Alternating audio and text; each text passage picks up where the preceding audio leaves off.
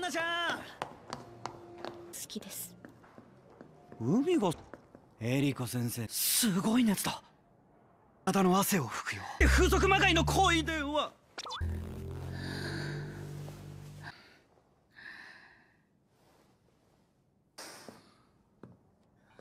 少し話していいかな。子供の頃あっち。あげどこほっつき歩いてたんだよ。